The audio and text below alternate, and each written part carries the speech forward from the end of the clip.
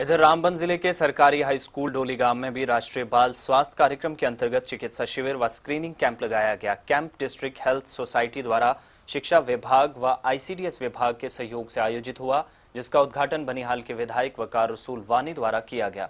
इस अवसर पर जिला आयुक्त तारिक हुसैन गनई व स्वास्थ्य विभाग के आला अधिकारी भी उपस्थित रहे। कैंप के दौरान 18 वर्ष तक के बच्चों की स्वास्थ्य की जाँच की गई और उन्हें मुफ़्त दवाइयाँ भी वितरित की गई। कैंप का मुख्य उद्देश्य बच्चों को जानलेवा शारीरिक बीमारियों के प्रति जागरूक करना था ताकि उनकी कीमती जान बचाई जा सके। एनआरएचएम का जो कार्यक्रम है ये और बहुत ही कामयाब ये रहा।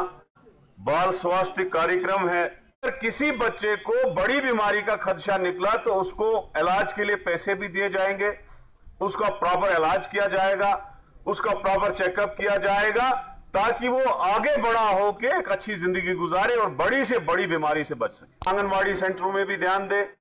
उन पहाड़ी इलाकों में जाना होगा। अठारह साल तक बच्चे हैं।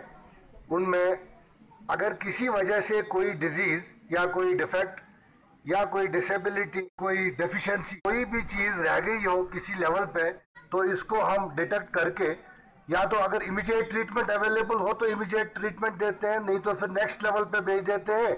और अगर नेक्स्ट लेवल पे भी इसमें ट्रीटमेंट ना हो तो फिर टर्शरी केयर के लिए आप बाहर भेजते हैं कहीं बड़े अस्पतालों में। स्कीम बहुत अच्छी है, बिलखसूस इस इलाके के लिए। ये उनके लिए भी है जो ड्रॉप आउट्स हों, या उनके लिए भी है जो घर में कोई और काम कर रहे हैं, जो स्कूल नहीं आते हो। तो कहूँगा कि घर घर जाके भी आपको ये जो है, ये इन्वेस्टिगेशन करनी चाहिए।